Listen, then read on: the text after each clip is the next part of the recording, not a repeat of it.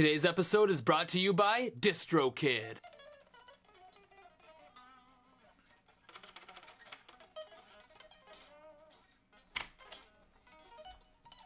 What is going on, my Portuguese friends? What time zone are you in? Because in our time zone, 5 o'clock was an hour ago. Every minute you spend is a minute that could have been spent. Who is that? I brought my girlfriend. I don't know how many times I have to tell you band practice equals no outsiders! This isn't a show. Keep your social activity. Shut! All right, guys, let's get to practicing. We don't have a whole lot of time.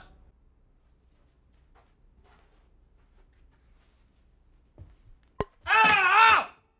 We're having a meeting! Off the phones! Oh, I almost forgot. Guess who has tickets for our next show to sell? Hey, that's awesome. Is it a paying gig, dude? What? What? They're nice enough to let us play in their club. Of course, we're not being paid. I, uh, you, well, I just thought maybe because we're bringing people to their club and entertaining their customers. And we're the ones who have to go through the trouble of band practicing and selling the tickets and promoting and loading and unloading our gear, so I thought we could get something. I gotta tell you, man, that's probably the smartest thing I've ever heard you say.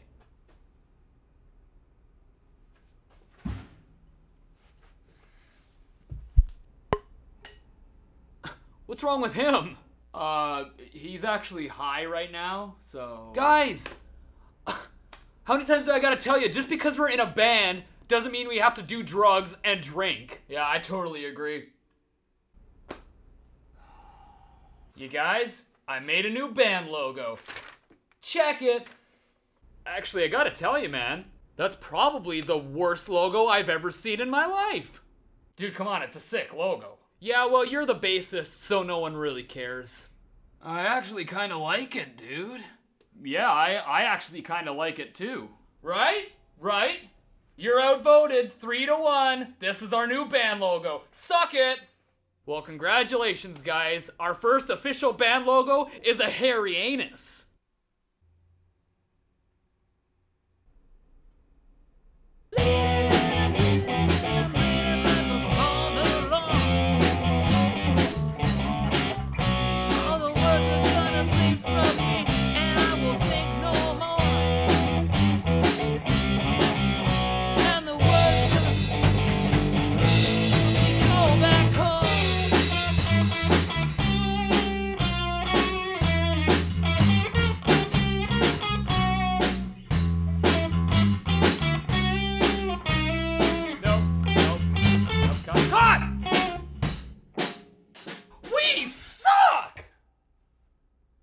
And you didn't learn the song.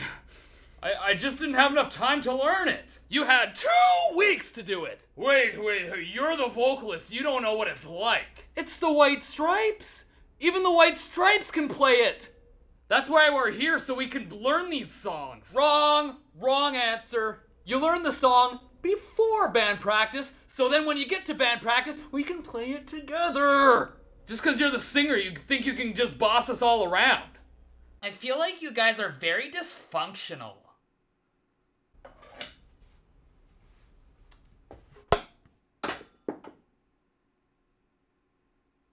Hey guys, I think we're ready for the studio. Well, there you have it, guys. Sure, being in a band can suck sometimes, but at the end of the day, it's about coming together for the sake of the music. But there is one particular dilemma that every band will run into eventually, and that is when you've recorded your music, you want to get your song on iTunes, you want to get your song out to the world. Where do you do it? Well, I do have one amazing option for you guys, and they just so happen to be the sponsors for today's video, so here's a little word for them. Your online music distribution site, DistroKid.